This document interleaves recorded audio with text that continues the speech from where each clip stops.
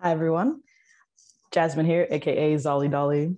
And uh, today I'm going to give you a little um, bit of an update on what's been happening at Rejuve. So, uh, for those of you who never heard of Rejuve, you might have just uh, joined into the SingularityNET community or just, you know, haven't been fully aware of what's been going on. Um, Rejuve was actually part of uh, what came about via something um, that happened a few years ago called the SingularityNET X Lab Accelerator. And this uh, accelerator also birthed uh, projects such as NuNet and Autonia. So very successful venture there. So Rejuve is actually centered around uh, longevity, uh, life and health span extension. So the goal is to create a network of longevity enthusiasts, uh, clinics, labs, scientists, researchers, um, all working together to achieve breakthroughs in longevity science. And you know, all uh, via a decentralized platform, of course, using AI, blockchain. That's the you know the theme here. And so the main method of the value exchange between all of these entities is, of course, uh, the Rejuve token.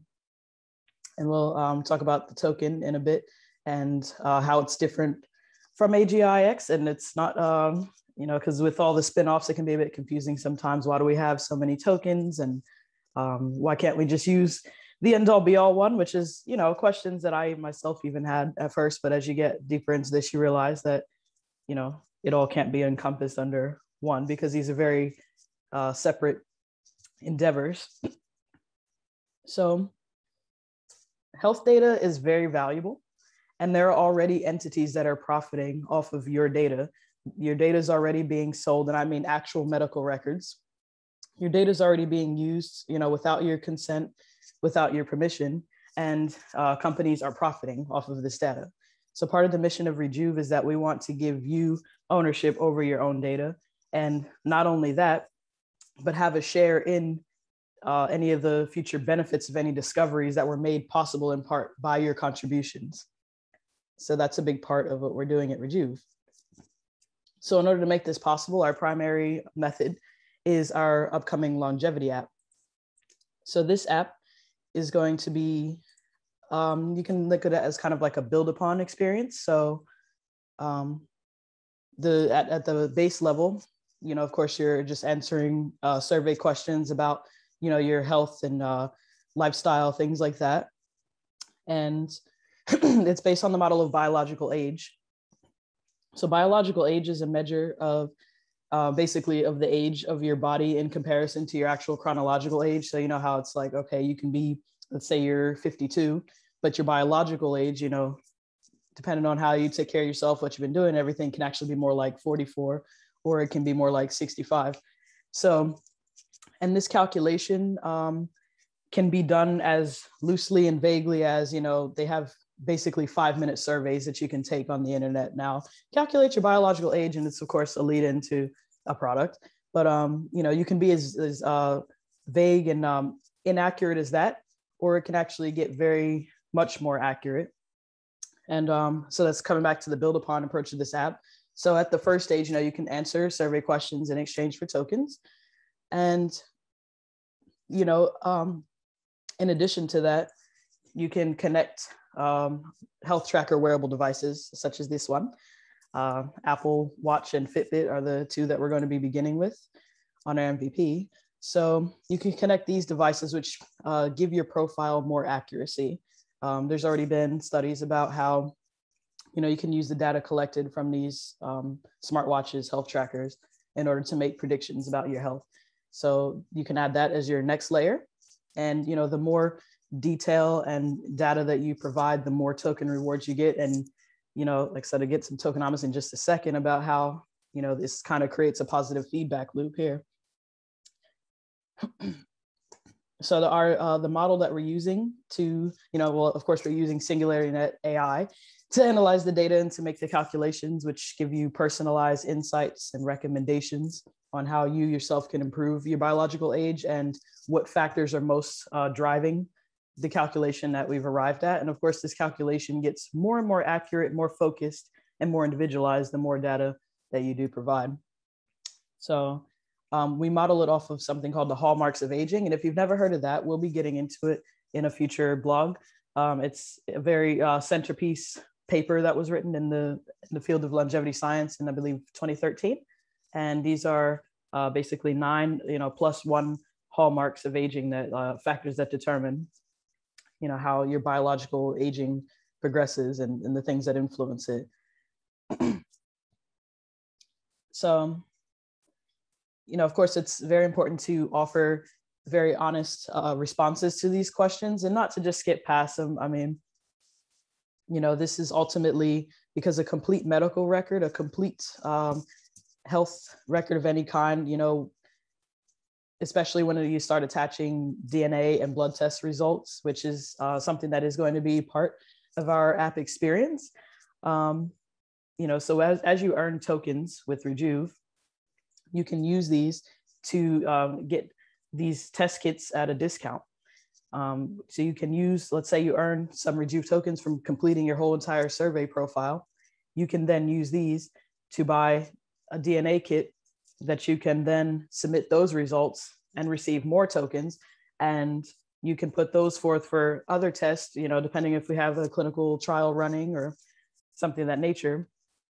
You can put those forward to get even more rewards. And it just continues to compile and compile. And you're just constantly having this cycle of um, your profile getting built up more, becoming more valuable as an entity for research and for clinical trials and studies. And you're also more ingraining yourself into this reward scheme and into this um, uh, supply chain. so the Rejuve token itself, you know, as I said, it will be something that, you know, you get as a reward for completing in-app tasks. And the more complex and like basically the more difficult it is to obtain the data or to complete the task, the more uh, higher reward you will get. So like I said, the baseline is completing surveys, hooking up your wearable device. Um, you know, then your next level is, you know, you're submitting more advanced uh, data sets, such as, uh, you know, they have the little DNA spit kits and whatnot. Even they have, you know, blood testing things where it's like a prick and you, um, it can ascertain different uh, values that are uh, assessing your biological age in a more deeper way because of course you can answer questions on a survey and you know calculate how much exercise you've been having and you can give a subjective answer about your diet and you know whether or not you smoke and this that and a third. But you know these measures that these actual uh, blood and dna tests can ascertain are a much deeper and more accurate measure of your actual uh, biological condition in, in, re- in relation to longevity.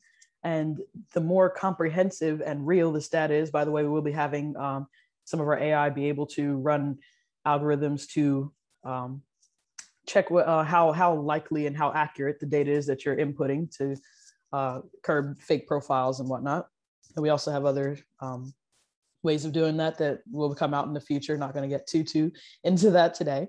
But um, yeah, so, you know, as you build up your profile, it becomes more valuable. And we also, you know, be running actual uh, studies through uh, Rejuve Tech, which is our for-profit arm. And so we actually will be actually conducting real research via Rejuve. We will probably eventually be working with outside entities as well, but we actually will be doing real live research. And so it's very important that we have accurate, complete data. So the token will also have um, governance and reputation functions.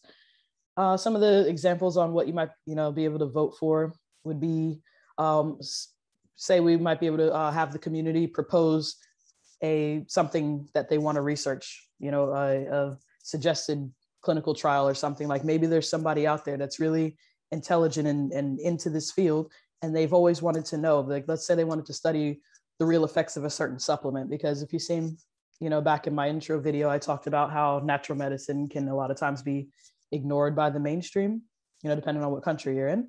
And so maybe we want to know about this particular supplement. And we want to actually measure the real effects of what it can do.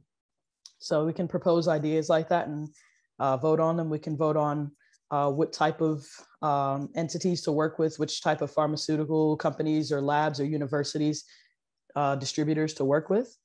and also any kind of uh, token economy matters, anything to do with the actual uh, the economy that we're creating with the Rejuve token, that those can also be subjects for votes. And also uh, with reputation wise, it's, you know, going to be how successful, you know, a product has become or how successful, you know, or, or how, how likely this is that, you know, this data is really true and how, how good this algorithm was at processing this data. There's a lot of different things that can come in line there. And um, and as, and also part of the with the tokenomics plan, a key feature that we are working on right now in real time is uh, a method that will be able to basically track your data's history all along the chain of supply. So in the case that some new drug or breakthrough therapy is developed and it was using your data, your entire basically uh, contribution will be able to be tracked all throughout that supply from the first time you entered into that app, you know, from this lab that took it and this one that used it all the way down to the actual product. And to actually be able to make that a cycle of pretty much lifetime rewards. Uh, the rewards, of course, being in the form of the Rejuve tokens, which, which can be used for discounts on um, supplements, uh, test kits, uh, the service, the the um, the products that develop themselves, uh, the therapies, longevity uh, spas that are offering certain services, use them for discounts on that. So there'll be uh, increasingly amount of products that you can use these tokens in redemption for, and then of course to be able to vote on key issues in the ecosystem. So it's a very exciting and ambitious project, and we are moving along at a good pace. And so we are anticipating for the release of the MVP and the token launch in the fourth quarter of this year. And as I said, we'll be having uh, a lot more blogs and informational pieces and, and things as we get closer to that time that will give you a lot more information. You know, this is just meant to be kind of a brief uh, update and also an introduction to those of those who uh, may not have even heard of Rejuve before. But yeah, I'm very excited to be a part of this project and yep, we have a lot to look forward to um, at Rejuve and at just SingularityNET ecosystem as a whole.